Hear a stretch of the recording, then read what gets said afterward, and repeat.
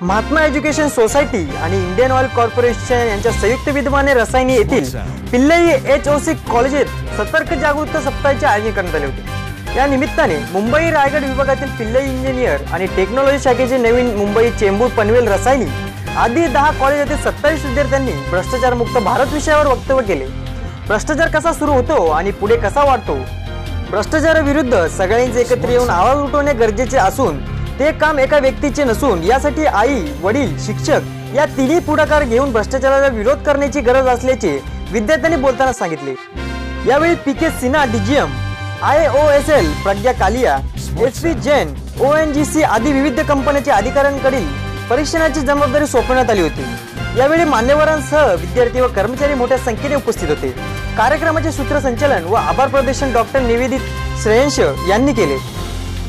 Rakesh Kharade Yuva Maharashtra live Rasayani Smart Sound.